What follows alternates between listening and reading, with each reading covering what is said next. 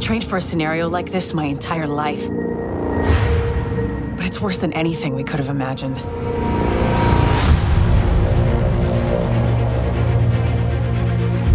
We don't have much intel, and we don't have the luxury of failure.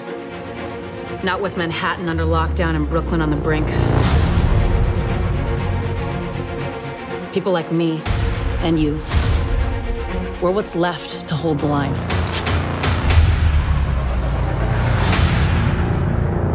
Every criminal group that we've been dealing with is controlling most of these neighborhoods. Taking whatever they want, killing whoever they want because we got nobody to stop them. Burn them!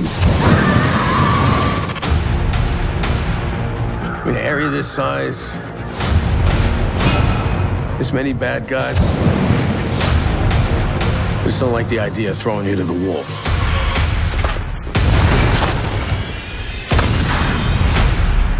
Captain, we are the wolves.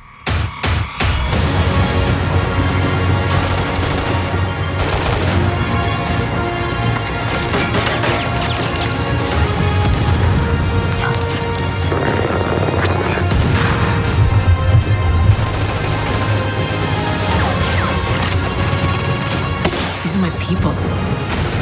This is my city.